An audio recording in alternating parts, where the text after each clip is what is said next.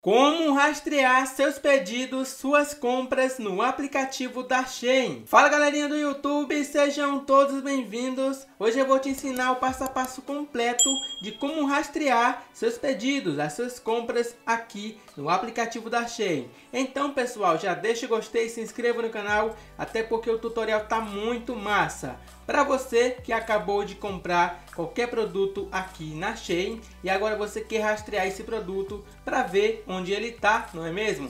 Então você vai abrir aqui o aplicativo da Shein e aqui nessa aba pessoal inicial do app você vai estar tá clicando em perfil, então toque em perfil, olha e aqui vai aparecer meus pedidos. Em seguida vai aparecer a opção de não pago, processando enviado. Então você vai estar tá tocando aqui enviado. Toca enviado, olha, vai carregar todos esses produtos aí que você pediu no caso e vai aparecer aqui a opção de rastrear. Então você clica em rastrear, olha, e nessa próxima aba vai aparecer o percurso, né, por onde o seu objeto está passando. Então o meu aqui está em trânsito, então ele passou aqui, ó, foi enviado, né, objeto postado. Aqui é todo o percurso aqui do meu pedido, beleza? Então, galera, essa é a primeira forma de rastreio aqui na Shein. Vocês podem observar que vai aparecer o número aqui, ó, de rastreamento. Ele é através do Correios, ele termina aqui em BR. Então,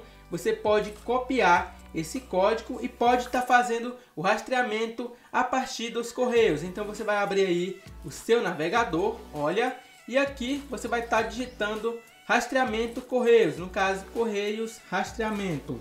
Olha, Correios, rastreamento. Beleza, pessoal? Você clica aqui em cima. Aqui você vai abrir o rastreamento dos Correios.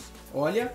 E aqui você vai colar o número de rastreamento lá da Shen que você acabou copiando, beleza? Então você vai clicar aqui, olha, e automaticamente, vou só colocar isso aqui, vai aparecer aqui o rastreio, né, nos correios. Então, é dessa forma que você rastreia o seu pedido, a sua compra no aplicativo da Shein. Qualquer dúvida, deixe nos comentários. Foi muito bom ter lhe ajudado. Vou ficando por aqui, um forte abraço e até o próximo vídeo.